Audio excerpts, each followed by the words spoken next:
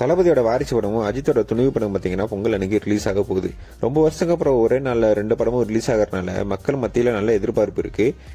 தளபதி பார்த்தீங்கன்னா வாரிசு படத்துக்கு அப்புறம் தளபதி அறுபத்தேழு படத்தில் நடிக்க போறாரு. இந்த படத்தை பார்த்தீங்கன்னா டேரக்ட் லோகேஷ் கனகராஜா இயக்க போறாரு.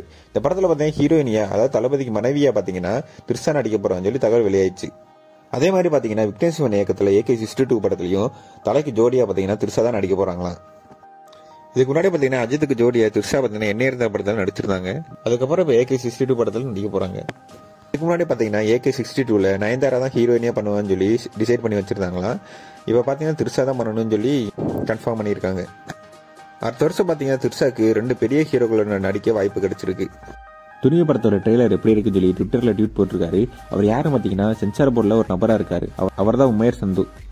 இவர் பார்த்தீங்கன்னா ட்விட்டில் என்ன சொல்லியிருக்காருன்னா ட்ரெய்லர் தீயா இருக்குது அப்படின்னு சொல்லி ஒரு எமர்ஜி மூலமாக போஸ்ட் போட்டிருக்காரு. இது மூலமாக என்ன தெரியுதுன்னா துணிவு படத்தோட ட்ரெய்லர் பார்த்தீங்கன்னா வெறித்தனமாக இருக்க போகுதுன்னு சொல்லி தெரியுது.